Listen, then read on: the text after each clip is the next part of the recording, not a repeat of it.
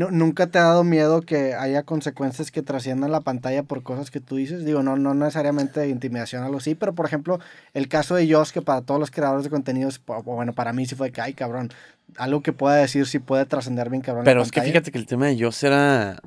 O sea, era de verdad peligroso. Y era una cosa que, por ejemplo, Ainara le habló a Jocelyn y le dijo, "Oye, güey, ya porfa, párale. Y dijo, Nel. O sea, si yo me metía. Nos pasó hace poco con un tweet, no, con un video.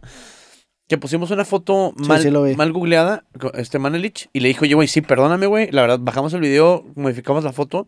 Es un error, güey. Sí. Y, y ni siquiera es error nuestro, ¿eh? Tú googleas la, el nombre de este güey y te sale la foto de ese güey. O sea, admitir ese error y saber que, güey, la cagamos, perdóname, güey, y la vuelves a subir. Si yo hubiera dicho, eh, me vale verga, ¿cómo la ves, güey? ¿Sabes cómo? O sea, Sí. sería un, un mensaje muy diferente, güey. Pero inclusive, o sea, el, el pedo es que ese es... eh, por Oye, ejemplo, estás muy cabezón, ¿por qué se me caen tus audífonos no, todo el si- tiempo, Si, quieres... No, no, está bien. Es, es- es que se me hace que tienes este mucho más largo que este.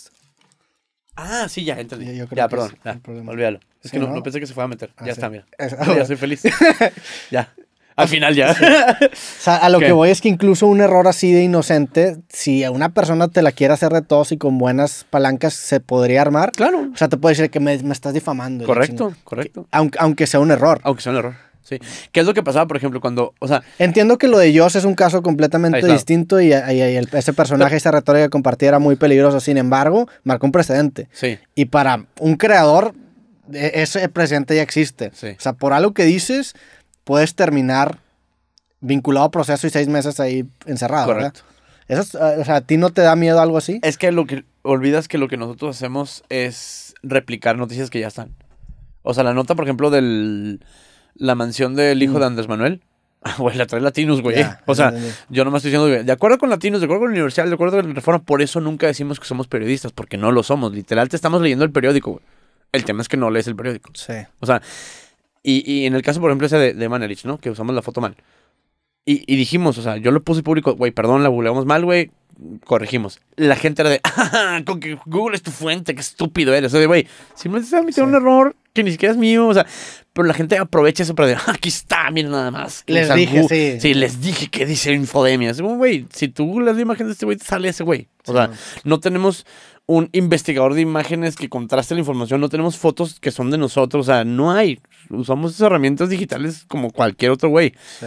El tema es ese, güey, o sea, volvemos al tema de la frustración. Cuando uno admite un error y dice, ah, es que, güey, la cagué porque di un nombre mal. Es de, "Ah, sabía que le ibas a cagar. Digo, eso estoy diciendo que la cagaste. O sea, si me entiendes cómo, o sea, ¿por qué me la cagas con mi propio veneno, güey? sí.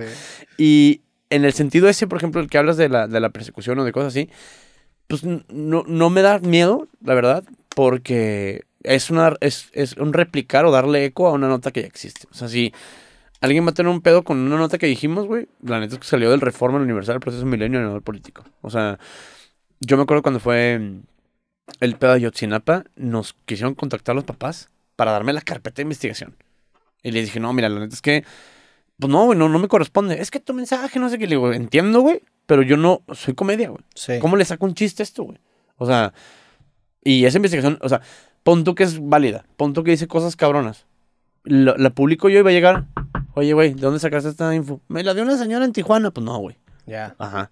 Entonces, Sí, tu forma de blindarte es cubrir cosas que están publicadas. y, ¿no? olvi- o sea, y el tema es, volvemos, güey. Es comedia, güey. Por eso no me frustra la vida política, porque me voy a reír de eso, güey. O sea, en realidad lo que quiero hacer es comedia política, güey. No política. O sea, no vamos a cambiar el país, no queremos este dar un mensaje a la gente ni redireccionar el voto ni nada. Simplemente nos estamos riendo de las ridiculeces que está haciendo el político en turno, güey. Y entiendas eso, el político en turno. O sea, Sí. nos pasa con vatos y de, ¿dónde estabas cuando Peña Nieto? Haciendo programa, güey. Y si ves los programas anteriores, güey, nos limpiamos el culo con Peña, güey. ¿Dónde estabas cuando salí, no sé qué? En cuarto de primaria, güey. O sea, y la onda es esa, o sea, como que el, el- el- el- fin de mi programa y lo que quiero hacer, la neta, es, es simplemente eso, güey, comedia de calidad.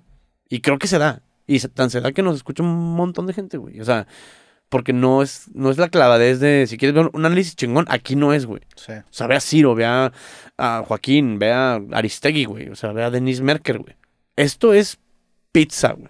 Sí. Y Esto- que, y que ajá. si tú compites con ellos, no es culpa tuya, es culpa de que la gente está. Prefiere Compites en la audiencia. Sí. ¿Sabes cómo? Ahorita que eres el 2. Eh, eh, Ajá, el dos. Número Está dos. Ciro, ¿no? El- el- Está Ciro, que está imbatible. Ah, es- es- en ratings de radio, ¿no? sí, en Sí, Radio Fórmula, número ¿no? dos en radio. Pero es eso, porque eres Animaniacs, güey. ¿Sabes cómo? O sea. Pero la onda chida es. Creo que yo creo que estamos en el lugar que deberíamos de estar. O sea, abajo de alguien muy serio. ¿Sabes cómo? O sea, alguien que sí está cambiando México y que sí persigue el poder y, o sea, y nosotros estamos haciendo chistes al respecto. O sea. Dentro de ese círculo, ¿con quién hablas seguido? O sea, de, de periodistas. Con Joaquín. de- ¿Con Joaquín? Joaquín es así mi mentor. O sea, trabajar con él de cerca en, en Radio Fórmula en las elecciones fue lo que me modificó a hacer el pulso en vivo, por ejemplo, ahorita. Porque siempre lo quise hacer así, desde que empecé el pulso. Y hasta ahorita ya, o sea, como que él me dio la valentía, como decir, güey, ya estás en la mesa de los niños grandes, ya eres un comunicador, ya tu voz tiene un eco más grande del que pensabas o del que querías pensar. No sé si hablamos la vez pasada de cuando me metí en el tema con HBO y, y el escándalo que hubo, era por pensar que mi voz no era tan importante. O no era tan, que hacía tanto eco, güey. Tan es así que llegó a Palacio fucking Nacional. Entonces, o sea, como, güey, ponte verga, güey. O sea, fue una cachetada del, del- de, de- de Dios de decirme así, de, güey, no le juegues al verguita. O sea, no eres el payasito de la clase, güey. Un chingo de gente te escucha. Watch what you say. ¿Sabes cómo? Porque, sí, o sea, a ver, usa tu libertad chido, güey. Nada más no te hagas el pendejito, güey. Sí. No te hagas el tontito porque sí mucha gente ve. Hace un chiste de Yucatán, le llega a la Secretaría de Turismo, güey. Que no entienda un chiste, está perfecto, pero sí llega hasta allá, güey. ¿Me entiendes cómo? Metes una imagen que no es y le llega al ex policía este, el señor Pero, ¿cómo le haces para entonces que no module tu voz? Porque está bien cabrón. Yo sí, yo sí me la pienso más Desde- ca- cada podcast. Digo, sí, o sea, pero, intento, intento que no, pero pues quieras o no, digo aquí una pendejada y le va a llegar al, al güey. sí, que- pero no dices, por ejemplo, de, ay, ojalá maten a todos los presidentes. O sea, ¿me entiendes? O sea, no te ventas esas, güey. Lo que antes diríamos tú y yo en un podcast sin audiencia, Sí. es mucho más distinto de lo que dices en el micrófono, ¿no? Es una plática de peda, Claro. no la llevas al micrófono, por ejemplo. Y una opinión que es una tontería, pues no la llevas al micrófono. Nada más es como entender eso, ¿no? O sea, y, y- y sí, seguir haciendo comedia y seguir este tratando de cruzar la línea, porque siento que se debe cruzar la línea,